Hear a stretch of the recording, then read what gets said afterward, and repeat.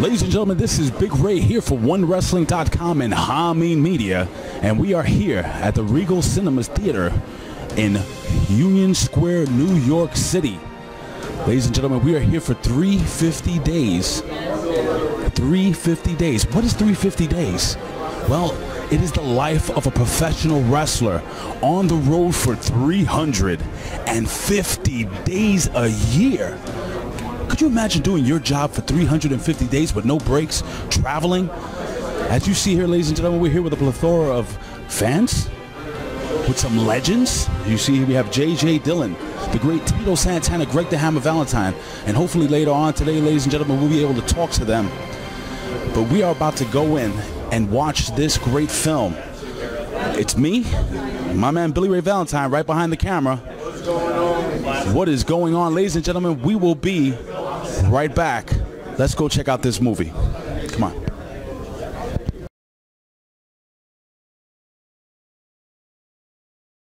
Hey, come on up, guys. Yeah. ECW. Thanks, Evan. Uh, grew up in the uh, New York City pro wrestling fan scene with Evan, uh, and eventually decided I would uh, quit college, run off, join the circus, and become a pro wrestler, uh, pro wrestling personality myself. Um, have known Evan forever, and I've always known of his passion for the business. He loves the business. He, he's so fervently passionate about everything that has come before and really maintaining the, the longevity of the business. And you can tell whether he's talking about something he's seen 40 years ago, 40 minutes ago, even when he critiques something and gives an opinion on the business, he does it because he loves it. He does it because he cares. And I think the pro wrestling business uh, deserves and needs more fans like Evan. And, and to see him once again be involved in a wrestling-based project, uh, it, it really fills my heart with joy. So we should all thank Evan for, for all what he did. Bill Gertner. Let me thank Evan Proud. He's looking debonair in the blue suit over here all the way from Baltimore. Media from Baltimore. Under the Mat Radio. Okay, folks, we don't have a lot of time. Throw out some questions for these legends. Just, get, just shoot them out. We can hear you. Don't be shy. Don't be shy. Questions? Hello, gentlemen. Would you encourage young wrestlers to get involved with it now, now that it's different from when you were involved as wrestlers? I wouldn't encourage my sons to, to, to get into the business. It, it's, a, it's a very difficult business to be in. Uh, one of the biggest fears that I had if my kids wanted to get into the business was uh, the drug scene. You know, besides uh, being away from, I, I told my kids that you want to be away from your kids as much as I'm away from you, you guys. And they never asked me to be. I mean, I I have uh, very successful kids, thank God, and you know, it's it's a very, especially now, it's it's really difficult to make it in professional business uh, wrestling because there's only one company that's uh, that's successful that you can make a living, and there's not too many spots. Thank you. Nelson Torres, journalist. I know you must have a question. Ah, let me see. I just want to say it was a great, great film. I just wanted to say that first things first. Um, now, I just wanted to know one thing. How long did it take this movie to make together? Because I see a lot of people that actually passed on, obviously, but I just want to know how long did it make, um, get this together? you know? Five years. Five years. Five years we worked on that. Five years, wow. Okay. Good job, Greg. Anybody else? Don't be shy. Okay. Villain Club, Marty Skrull. There you go. Thank you. Um, do any of you see the spots that are being done today with Indies and New Japan and everything? And um, do you have any opinions on it? The level of danger do you feel has been increased, or maybe like less of a attention to safety with some of the things that the wrestlers do today that are, you know, younger and trying to get more notoriety? Well, I, I don't think they wrestle like we did. You know, they don't grab a hold, you know. If they do, then they're, they're jumping off the top rope five minutes later. And they're taking, it seems like they're taking more chances, you know, being airborne. And I, I know for a fact a lot of guys are getting hurt all the time. And, uh, I see good matches too, old school matches, what, what I call it. But uh, um, I really think they kind of got away from storylines that are good. They got away from uh, stories in the ring. You know, I you know always told a story when I wrestled Tito all the time. We we had dogfights, but we had a story going on, and we could go 60 minutes every night. So they they don't have going for them. I need someone to slow it down. All right. Um, I'd like to thank Mike Johnson for all his support as well, and, uh, I, I'd like to answer that same question too. I, I still like to go out and see like some of the current wrestling, and it's very hard now because back in the day, we, we could go somewhere and stay for six months to a year and get to know the fans, build a reputation. And as Greg said, you know, we were, we basically, we were storytellers. We told a story every match, every night. And now it's hard for young talent because they don't have, they don't have that place to learn the trade like we did. We had the benefit of, of having to learn or we, or we, or we didn't survive. And I go to independent shows and they try to take a hold and some smartass in the back will yell, boring. And in the day, if somebody yelled boring, and call me if I'm wrong, nothing would happen. And somebody could, you wouldn't hear somebody else boring again because we felt that we were in control of the situation. And okay, Mr. Smartass, sit back there, that I'm gonna wait 20 minutes, and at the end of 20 minutes, he was the one guy sitting on the edge of his chair screaming louder than anybody else in the building. Because we, we had confidence in, in our ability and control, of- and like Greg said, we were telling a story. And nowadays, the guys hear that boring, and, and they just, it's like somebody hit them in the keister with a, a cattle prod. They think they gotta jump up and do something. And now they're not in control anymore, the audience is in control. And that's where the business has really changed dramatically. all right, we have another question?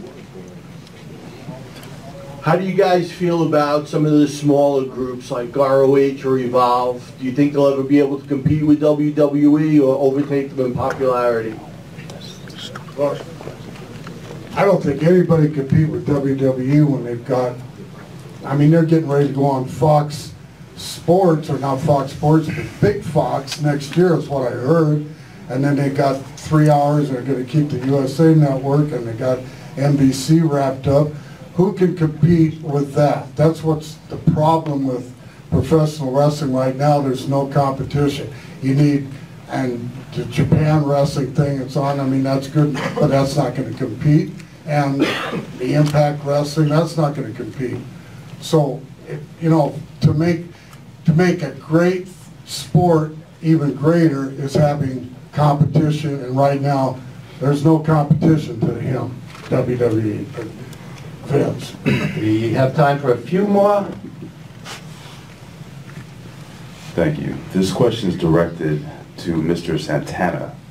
Tito, you know, you came up in the 80s where there weren't a ton of really popular Latino wrestlers, and you had quite the influence on the Latino culture in the 80s in the world of professional wrestling.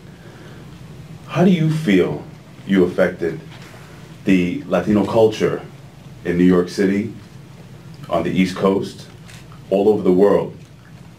I think it's, I think it's, uh, I think we underestimate your importance to the world of professional wrestling and the history and the lineage.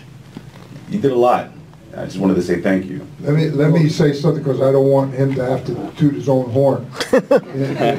In, in- in the seventies, I was still an active wrestler, I was in Amarillo, I was a main eventer, and there was a young guy out of West Texas State, A couple of them.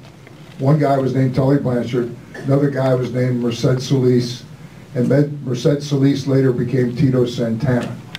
And so I watched him from the very, very beginning, and they used to hang around with Terry Funk because it was cool at the time to, you know, hang with, with Crazy Terry. But for somebody who was in the business, I could see from his first match that he had what I, in this thing made reference to called the it factor. And I can't, I can't, if I had all night to try to explain what it is, I, I, I, I really couldn't verbalize it. The only thing I could do would be to say, he- had it, he, he had it, and still does, and that's why he's been a success. Uh, The way I think I influenced the Hispanics, I was really proud to be Hispanic. And uh, I just wanted to be a positive role model. You know, I didn't want to go out there anywhere, and especially after I had kids. Uh, My parents were divorced, and I didn't want the same thing to, for my kids to go through that, because it wa- it wasn't a very pleasant thing. So I I just tried to live a, a, a life where I wasn't going to get in too much trouble. Uh, one thing that happened to me uh, in 2004 when I got inducted into the Hall of Fame, uh, when it really sunk in that I had made a big difference was when uh, Eddie Guerrero was the world champion, and he came up to me and he, and he thanked me for opening the doors for Hispanics with the WWE.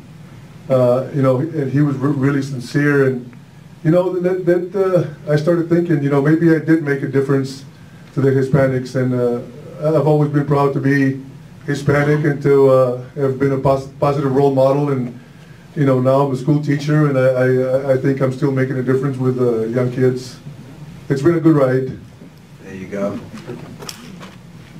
This question for Greg. Uh, What do you feel was the turning point in your career? There was a lot of turning points. So. I had a, I had a lot of breaks in NWA, a lot of breaks up here in WWF, and uh, wow, I that's a hard question to answer. Uh, I guess the biggest crowning glory and accomplishment was when I got to go in the Hall of Fame with Tito here. And the matches I had with Tito. I'm not just saying that because he's here. Okay, JP Zarka, ProWrestlingStories.com.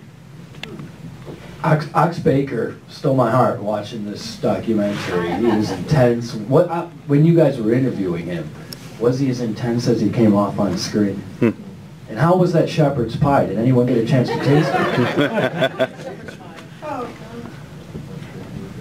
Want to answer that? Yeah, I'll tell you, it's very funny you bring it up. We were at his friend's house, Glenn Ferrari, when he was hanging out in Connecticut. He actually took the shepherd's pie and started to put it in the dishwasher at first. Wow. There's a lot of behind the scenes stuff that you guys can see, so. He really was our comic relief for this movie. He was fantastic. Great. He's great. Great guy. I mean, uh, just, uh, I think he's gone too soon. They kind of stayed in character almost the whole time we were filming them. It was, a- it was a good thing, but um, he did have his funny moments, and there's a lot, so much more that we could have put in this film, but of course, we only have a limited time. There's a lot, a lot of stories that we felt were also good that might come out later on. And I had to make either a second film, but that's something that, you know, we're gonna think about. Speaking of limited time, we only have time for one or two more. We have Hollywood from Glow. Guys, this film was fantastic. I loved it. Thank you all very much for your honesty because some people just don't tell it the way that it is and I appreciated all of it and thank you so much for that. Very cool. Thank you. And thank you for your support. All right. Okay. We have my educator friend. Hi, I just wondered about the Kate Gilroy story. You showed her picture and he made reference to her. What was the story there? Story was that she was the one that actually uh, got, um, Billy Graham got the kidneys from. All right, um, she, it was kind of a, it was a tough story. We actually had a private investigator uh, track down the mother. And I actually wrote a letter to the mother explaining what we were trying to do, and she sent me those pictures that were in the film. And we wanted to do a dedication, especially with Billy Graham, the way he was talking about her. and that's where we came up with that. But she was killed and she was She was killed in a car accident at 23 years old. Oh, wow. All right, and that's how he ended up with the kidneys and stuff. And it was a shame when we found out about the story completely. Yeah. But we felt we had to put a special dedication for her, and since Billy was talking about her, Right. that's how we, we followed through with the Yeah, pictures and stuff. that was very nicely done. Thank you. One last question, and then we're gonna do a group shot. One last question. What I think I'm looking at here and what I saw on the screen is what I think is going to go down in history as the golden age of wrestling, seriously. What came before and what came after, I I think we saw the golden age before us. The question I have is, I know Tito mentioned that uh, he's a teacher, he's an educator, I know JJ is an author. Can each of you um, say what other endeavors after wrestling and your retirement from wrestling uh, you went into? Yeah, I- um, I, I taught school for- for a year too. I, I I had the dream since I was a teenager of wanting to become a professional wrestler. And it wasn't an easy profession to get into. I would talk to the old timers and, and I hinted at one of the clips where I was told by George Bollas, the original Zebra Kid, the first advice he gave me was get your education. And when I'm asked today, I, I give that same advice. Because the wrestling business, we, we've all, we've had tremendous success, but there's a lot of people that never got to live, had the dream, but never even got to go in the ring one time. And so that's why the importance of education is what I stress with everybody. Wrestling business, if you love it that much, and you want it that much, and you'll continue to not be disappointed, because there's a lot of disappointments, a lot of rejection. If you have the education, like I said there, that's in your back pocket. They can never take that away from you, and that's important. And so, uh, I tell my own kids, first thing is get an education. The wrestling business is, uh, if you're lucky and that you really want it, it'll still be there. Myself, uh, I was lucky I had the education. I played football and graduated in 1975. Uh, So my wife is the one that encouraged me, you know, try teaching, try teaching. But I, I just didn't think teachers made enough money to, to I wanted to maintain the same lifestyle that, that uh, they were used to. Uh, So I, I started, you know, did uh, substitute teaching for two years, and then I started teaching. Uh, and my wife hadn't worked for 17 years that we had been married, and I said, uh, "Look, uh, I think you're going to have to go out and work." Good job. you know, uh, I, but I said, uh, she didn't have a college education. She had one year, and, and I said, uh, I really don't want you to be working for minimum wage for somebody, you know, for some guy to be pinching you in the ass, and you know, because he's your boss. And, and I said, uh, let's think of a business that we can get into. And we knew nothing about business, neither her nor I. And uh, we started maybe a, a little deli or something. I said, we need to get into a people business because we're good people, and if you treat people good, they'll come back. Uh, so we went to look at a couple of delis, and it didn't work. And then I, I had an aunt that uh, had a hair salon in Texas, and I was looking at a, a Sunday paper. You can imagine a New Jersey Sunday paper, and uh, in the very bottom I saw uh, like a three-line ad for a hair salon for for sale, and we went to see it, and we bought it, uh, and neither one of us cut hair, uh, but uh, we were very lucky that about a, a year after we bought it, another salon went under, and everybody came to work for us. So we, my wife has had the hair, you know, she's the one that runs it.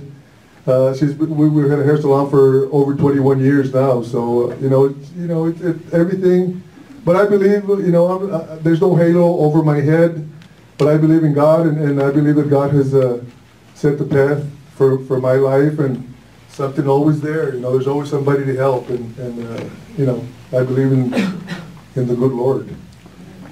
Yeah, I'm a man of faith myself. I, I have to have that faith after what I've been through in wrestling, but wrestling was real good to me, and and I always knew that eventually I had to get out of it, and but I'm still kind of in it still, you know, autograph sessions and everything, but and and everybody still recognizes me, so you know, the wrestling has always been good to me, and it's it's good, you know, my name is still good, it's still out there, and still relevant.